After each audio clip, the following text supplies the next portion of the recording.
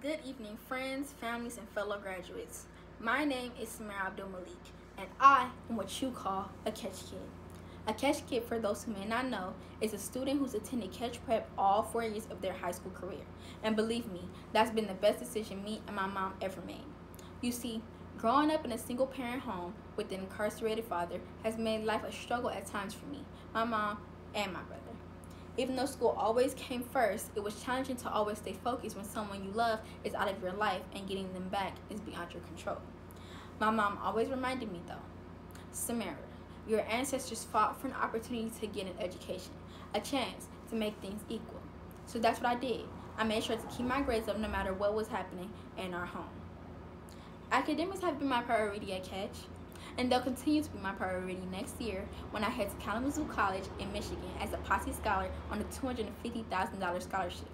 In college, I'll study to learn skills and competencies to bring back to my community and pay forward the opportunities I've had to advance my life, career, and personal goals.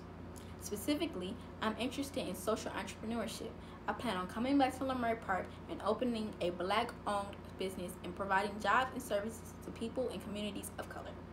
I may not know all the specifics on what this will look like or what kind of business I'll open and run, but I know that employment opportunities for communities that have been historically marginalized and face issues of poverty every day have the potential to alter life circumstances and make the real positive change. So, to any student or young person out there watching this graduation live stream in 2020 or stumbling across it on YouTube 5, 10, or 15 years from now, I want you to know this. You can do anything. Just look at me.